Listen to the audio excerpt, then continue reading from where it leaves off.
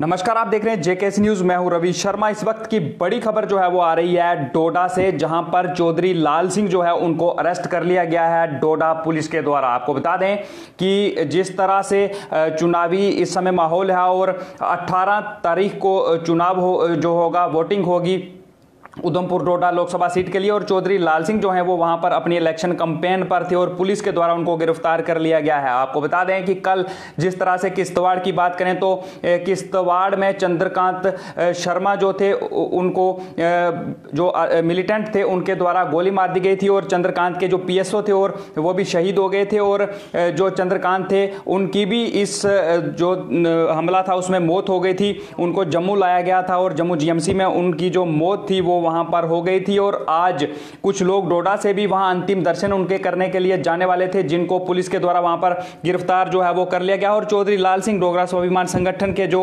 Chairman है और Udhampur Doda Lok Sabha seat से उम्मीदवार भी हैं, उनको अरेस्ट कर लिया गया है डोडा पुलिस के द्वारा। इस सब पर मेरे साथ, इस समय मेरे सहयोगी विकास मनहास डोडा से मेरे साथ फ़ोन लाइन पर जुड़ गए। विकास, मेरी आवाज़ सुन पा रहे हैं आप? जी सर जी सर बोले जी विकास आप हमें बताएँ कि आखिर चौधरी लाल सिंह जो है उनको पुलिस के द्वारा अरेस्ट किया गया तो क्या कारण रहा वहाँ पर?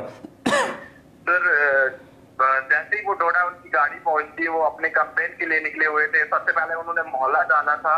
अभी कहीं बारह बजे वहाँ पे उनका कंपेन था इलेक्शन के रिलेटेड। उसके चलते फिर उन्होंने वापस डोडा में आके टाउन हॉल में अपना ये कंपेन करना था। लेकिन डोडा पुलिस ने उनको बस स्टैंड पे पकड़ के पुलिस स्टेशन एस एच ने लेकर पुलिस स्टेशन में ले लिया। और जब मेरी उनसे बात हुई तो मैंने पूछा सर आपको क्यों पुलिस पकड़ के ले रही है? उन्होंने कहा औरों के लिए धारा एक कुछ नहीं है।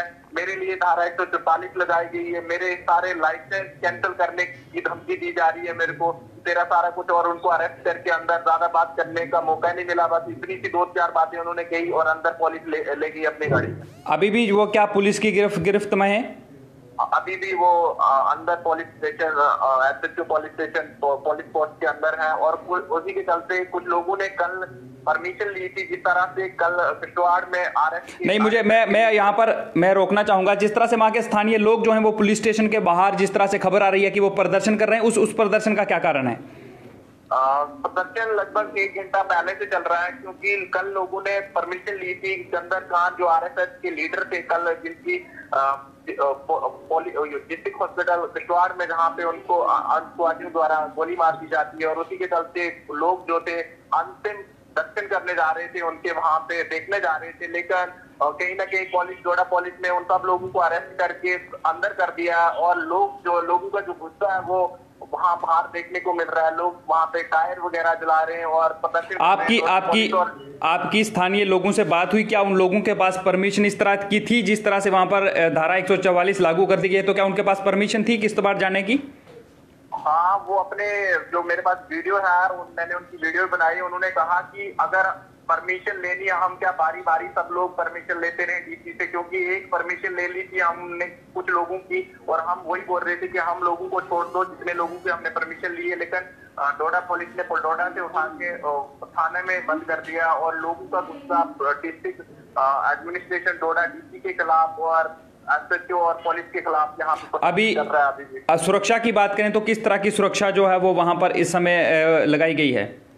पूरे डोडा में अभी तो हड़ताल दिखाई दे रही है। काफ़ी सारी दुकानें बंद हैं और उसी के चलते पुलिस भी पूरे डोडा में लगाई गई है।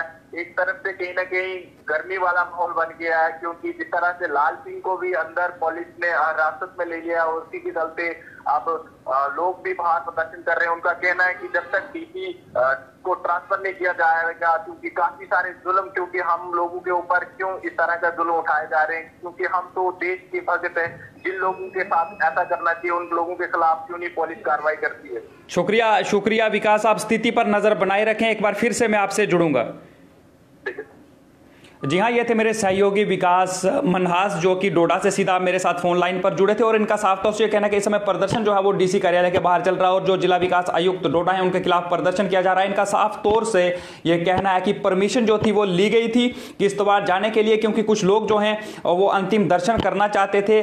जो चंद्रकांत हैं, उनके जिनकी कि कल एक मिलिटेंट अटैक में मृत्यु हो गई थी, और उनके पीएसओ वहाँ पर शहीद हो गए थे, लेकिन उन लोगों को वहाँ पर नहीं जाने दिया जा रहा, और वहीं चौधरी लाल सिंह की बात करें तो जिस तरह से विकास ने बनाया कि जेकेसी न्यूज़ से जब उनकी बात हुई तो उन्होंने कहा कि धारा एक जो है वो सिर्फ़ उनके लिए है, बाकी लोगों के लिए धारा एक लागू नहीं है और उनको जो है वो पकड़कर गिरफ़्तार जो है वो कर लिया गया और अभी वो पुलिस हिरासत में है और उनका यह कहना है कि उनको धमकी दी जा रही है कि उनके जो कागजात हैं उनको रद्द कर दिया जाएगा। फ़िलहाल अभी की जो स्थिति यहाँ पर यह है कि कुछ लोगों को भी पुलिस के द्वारा हिरासत में ले लिया गया और चौधरी लाल सिंह जो कि डोगरा स्वाभिमान संगठन जो है उसके उम्मीदवार हैं, उधमपुर डोडा लोकसभा सीट से और अभी पुलिस ने उनको हिरासत में इस समय ले लिया है। अब तक के लिए मुझे रवि शर्मा को दीजिए इजाज़त, मगर जम्मू कश्मीर की तमाम बड़ी खबरों के लिए आप देखते रहे। जेकेएस न्यूज़, नमस्कार।